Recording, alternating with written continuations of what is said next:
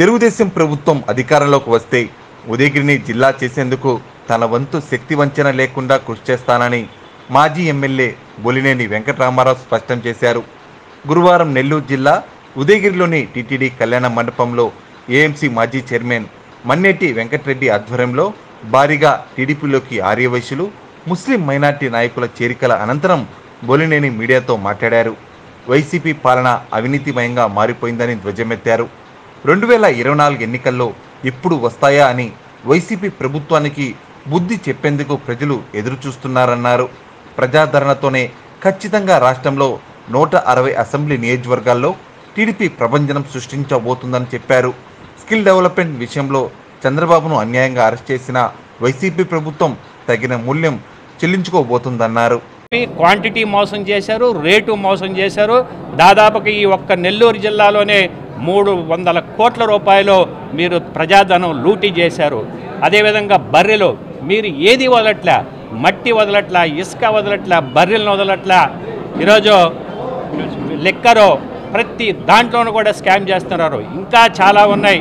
ఈరోజు సబ్స్టేషన్స్ ఉన్నాయి. మీరు అవసరం లేకపోయినా పది సంవత్సరాలకి సరిపడేటటువంటి ట్రాన్స్ఫారంలో మీరు తీసుకొచ్చి స్టాక్ పెట్టుకున్నారు. ఎందుకంటే అవి సప్లై చేసేస్తే మీకు డబ్బులు వస్తాయి.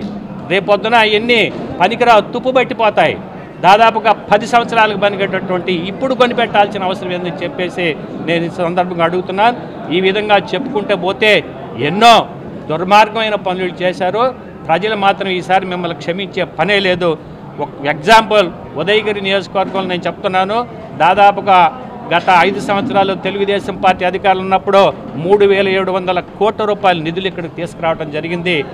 National Kamadhenu breeding centre south ఇండియాలో మొట్టమొదటి ప్రాజెక్టు ఈ నియోజకవర్గంలో కొండాపురం మండలంలో పెట్టడం జరిగింది. ఉదయగిరిలో హాస్పిటల్ వింజమూరులో హాస్పిటల్ దాదాపుగా ఇరవై ఏడు వేల టాయిలెట్స్ నాలుగు వేల ఐదు వందల ఇళ్ళు దాదాపు వెయ్యి చెక్ డ్యాములు ఆరు సబ్స్టేషన్లో ఈ విధంగా ఎన్నో అభివృద్ధి కార్యక్రమాలు ఐదు సంవత్సరాలు మేము చేసామంటే ఇది తెలుగుదేశం పార్టీ అభివృద్ధి అని చెప్పేసి కూడా ప్రజలందరూ గుర్తించి ఈరోజు మమ్మల్ని వాళ్ళని కంపేర్ చేసుకొని ఈరోజు మా తోటి వస్తున్నారంటే అది తెలుగుదేశం చంద్రబాబు నాయుడు గారి గుర్తింపు అని కూడా నేను చెప్తున్నాను మరి చంద్రబాబు నాయుడు గారి మీద అన్యాయంగా మీరు కేసు పెట్టి యాభై మూడు రోజుల పాటు జైల్లో పెట్టారు. ఇంతవరకు ఒక్క రూపాయి ఆయనకి కానీ ఆయన కుటుంబ సభ్యులకు కానీ ఎక్కడన్నా వచ్చిందా అని చెప్పేసి నేను అడుగుతున్నా. ఈ స్కిల్ డెవలప్మెంట్కి సంబంధించిన కేసు నాకు పూర్తిగా తెలుసు. ఆ డిజైన్ టెక్ అనే అతను ఎవరైతే వికాస్ కన్వేల్కర్ ఉన్నాడో అతను నాకు ఎప్పుడో ఇరవై సంవత్సరాల నుంచే నాకు అతను తెలిసిన అతను పూనాలో. నాకు రెండు సంవత్సరాల క్రితమే మా మీద అన్యాయంగా కేసు పెడుతున్నారని చెప్పేసి నా దృష్టికి తీసుకురావడం జరిగింది. అప్పట్లోనే నేను బాబు గారికి చెప్పా సార్ వీళ్ళు దుర్మార్గమైన పనులు చేస్తున్నారు. వీళ్ళు అనవసరమైన తప్పుడు కేసులు పెట్టాలని చెప్పి ప్రయత్నించారని చెప్పి నేను ఎప్పుడో దీన్ని తీసుకుపోవడం జరిగింది. మూడు వందల డెబ్బై ఒక్క కోట్ల రూపాయల్లో మూడు వందల యాభై మూడు కోట్లు వెండర్లకు ఇచ్చిన బిల్లులతో సహా జీఎస్టీ కట్టిన బిల్లులతో సహా అతను చూపించాడు. పదిహేడు కోట్ల రూపాయల ఆదాయం వస్తే దానికి కూడా ఇన్కమ్ ట్యాక్స్ రిటర్న్ ఫైల్ చేసి ప్రాఫిట్ కింద ట్యాక్స్ కట్టాడు. ఇంత క్లిస్టల్ క్లియర్గా చెప్తే ఈరోజు మీ దగ్గర ఏమీ లేకుండా చివరికి ఒక సర్వీస్ ట్యాక్స్ కట్టలేదని చెప్పి ఎవడో సర్వీస్ ట్యాక్స్ కట్టకపోతే చంద్రబాబు నాయుడు గారికి ఏం సంబంధం? కేంద్రంలో ఇన్కమ్ ట్యాక్స్ కేంద్రం అదే. కేంద్రంలో ఎవడైనా ఇన్కమ్ ట్యాక్స్ కట్టకపోతే ప్రధానమంత్రికి సంబంధమా? స్టేట్లో సర్వీస్ ట్యాక్స్ కట్టకపోతే ముఖ్యమంత్రి గారికి సంబంధమా? ఒక ట్యాక్స్ ఇష్యూని క్రిమినల్ కేసు కింద మార్చేసి దుర్మార్గమైన పనులు చేస్తున్నారు మీరు. ప్రజలు దీన్ని సహించరు. రాబోయే రోజుల్లో రెండు వేల ఇరవై నాలుగులో ఎలక్షన్ ఎప్పుడెప్పుడు వస్తా అని చెప్పి ప్రజలందరూ ఎదురు చూస్తున్నారు. ఖచ్చితంగా చంద్రబాబు నాయుడు గారు గెలుస్తారు. నూట అరవై సీట్ల పైన ఈరోజు గెలుచుకొని మళ్ళీ చంద్రబాబు నాయుడు గారు ముఖ్యమంత్రి కాబోతున్నారని చెప్పి కూడా మీ అందరికీ తెలియజేస్తున్నాం.